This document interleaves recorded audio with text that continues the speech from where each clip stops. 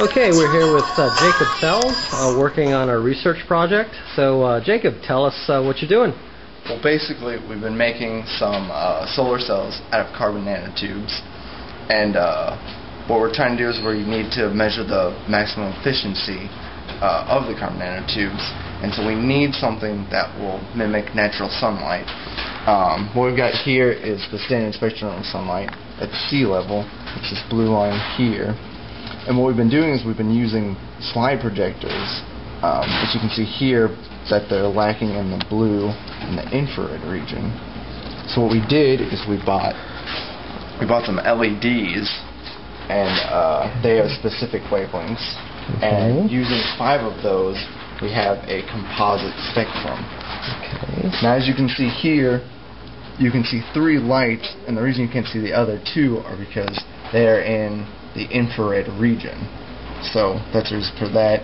We're measuring that with this spectroradiometer Right here. right here, Okay.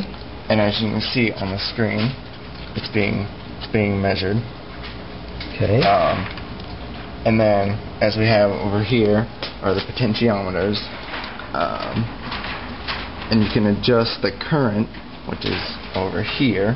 It's about 14 uh, milliamps. And so, kind of uh, change this. All right. Okay. So we go back here. Then, as you can see, I'll jump up.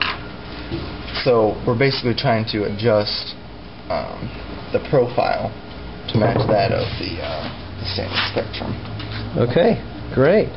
Great. So, um, how would you summarize your uh, last uh, two years of um, work here? Well, it's really interesting. It's a lot different from doing stuff in high school because you learn different things at such a fast pace. But it's really, it's really cool.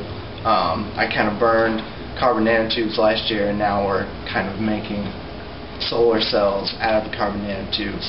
And solar energy is really important, but they're nothing without the cells. Great. So, uh, Jacob sells on solar cells. Right. Thanks.